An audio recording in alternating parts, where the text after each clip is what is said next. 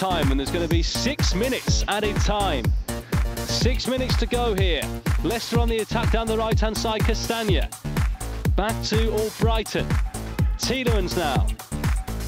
Can Leicester create a chance here? Albrighton down the right-hand side. His cross needs to be good. It is a great ball in. No one's there. It is. It's in. Iheanacho. 3-2. This game is not done yet. Kelechi Iheanacho strikes again. This game not done.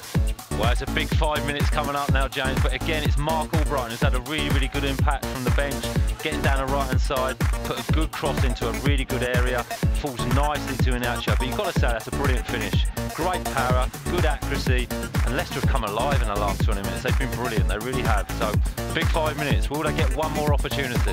They have to, surely. We've played nearly a minute of the six already. Five to go here. David Moyes absolutely livid down in front of us here. And there will be big, big scenes if Leicester can grab themselves an equaliser.